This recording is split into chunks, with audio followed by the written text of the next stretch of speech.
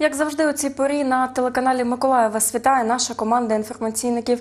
Розповімо про події на цей час. Я Наталя Забазнова. Добрий вечір.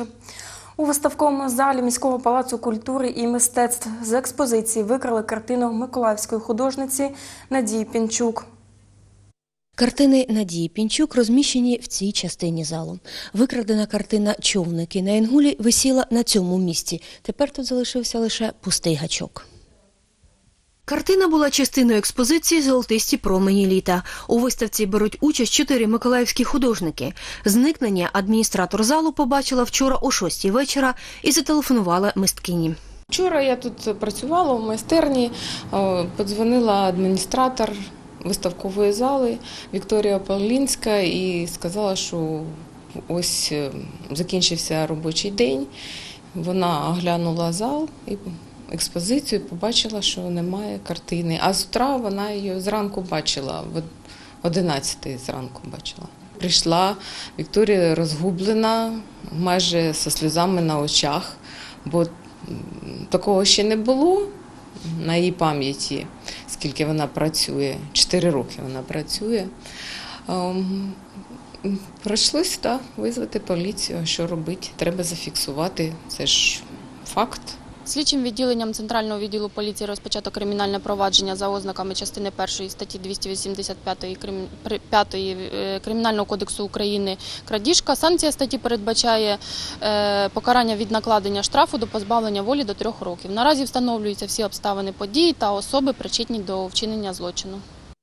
Так виглядає етюд човники на Інгулі. Розміри 33 на 37 сантиметрів.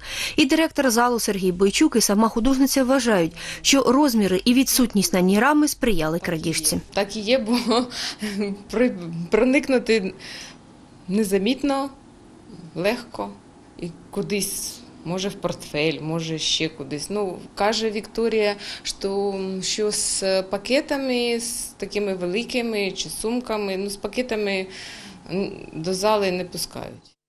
Художниця оцінила вартість картини 200 умовних одиниць, але ця робота каже не для продажу. Це був етюд, але ж етюди це така робота, коли треба повністю зібратися і фізично, і морально, і емоціонально прийти на місце, яке ти вибрав. ем, е, Відчути це місце і швидко, тому що це етюд швидко ем, за дві години створити цей настрій, е, це світове відображення на етюді, ці емоції свої. Я її написала у вересні 17-го року.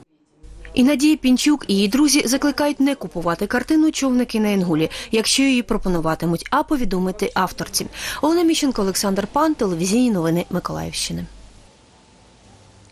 Комунальне підприємство Миколаївський міжнародний аеропорт оголосив торги на суму 10 мільйонів гривень на закупівлю аеродромного пожежного автомобіля.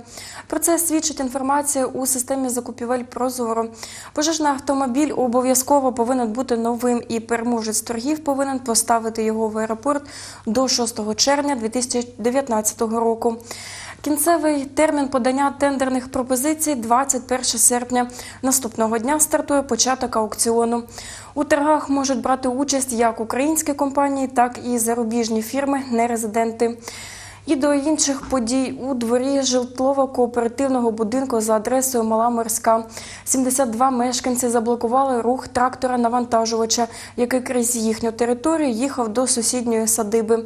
За словами місцевих жителів, транспортний засіб зачепив газову трубу, що ледь не спричинило вибух. Приблизно о 5 годині вечора я гулялася з дітками у дворі, почула грукіт. Я вийшла, побаличила е, погрузчик, але погрузчик саме з великими стрілами, які заділи вже мою газову трубу, і вона вже нахилилась десь, приблизно на сантиметр 10. Я почала кричати, що будь ласка, зупиніться, тому що зараз буде вибух. Я дуже хвилювалася, тому що тут е, п'ять будинків, тут живуть люди, тут е, діти маленькі, поруч будинки. Я побоялася, що зараз буде вибух, і вони, вони зупинилися, тому що я просто стала під погрузчиком, е, і я не дала можливість їм виїхати. Ви зацепили газову. Подождите, проблемы есть, мы ее оборвали. Нет. Ну дякуючи Ну, власниці, яка зупинила. Слушайте, здесь проезд на, на частную территорию, такой же, как я, и у вас. е, одна з власниць Да. і представниця так, від всіх власників цього двору. А з ким маю честь? Ну, я взял в аренду территорию. Мне надо поставить туда технику временно. Обмеження метр вісімдесят. Дивіться, обмеження. А в моих нема обмежень. А, бачите, тут ось от, обмеження. Це приватний двір. Трактор-навантажувач рухався крізь подвір'я до будинку 72А, господар якого тримає власний бізнес. За словами водія транспортного засобу, трубу не чіпали. Мы э, м, подъехали, э, проезжали через э, проем, вот, э, где соседи, так называемые. Ми під'їхали, проїжджали крізь отвір ось цей, де сусіди, так звані, під'їхали до труби ось. Людина зверху залізла на навантажувач, подивилась, що там, ми не проходимо за висотою. Ми під'їхали буквально дуже близько до труби. Він подивився і побачив, що там проїхати ми не зможемо. Потім ми спустили колеса, а далі нас вже сусіди не пустили. На погрузчики, ну, а дальше уже соседи нас уже не пустили. Стан труби перевірили працівники газової служби. Бригада аварійно-диспетчерської служби виїхала за зазначеною адресою. Вони повністю діагностували цей газопровід, е, провели обстеження. Е, І результат обстеження був такий, що газопровід не був деформований, цілісність газопроводу не була порушена і жодних е, пошкоджень або витоків газу виявлено також не було. За словами мешканців будинку, відповідно до плану, проїзд дозволений лише невеликим машинам, які не перевищують 1 метр 80 сантиметрів. Та на документах власника будинку 72А бізнесмена Дмитра Гурського подібних обмежень немає. Він приніс документи і показав, що в документі, е, який у нього є зараз, е, він е, є власником наших. Будинків, приватних будинків, тобто йому в план включили не тільки його ну, адрес 72, а й включили будинок 72. Це абсолютно інша площа, це житлово-комунальні землі, і в нього теж житлово-комунальні землі. Е, Він е, якби виходить, що на житлово-комунальну землю не має права заганяти такі погрузчики. За сьогоднішній день це третій. У нас є фото, як вони е, проїжджають тут. Сам Дмитро Гурський вбачає у цьому помилку та збирається виправити свій план. И мы, и жители заинтересованы в разделении этой земли.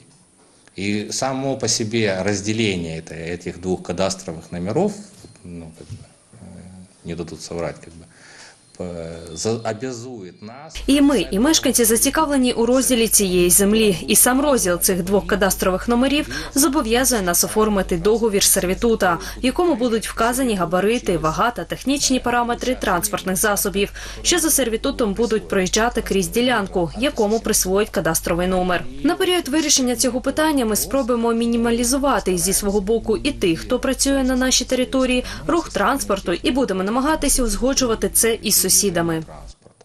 і будемо старатися согласовувати це з сусідами. Домовившись із сусідом, мешканці будинку 72 випустили навантажувач. Він спустив колеса та проїхав без перешкод.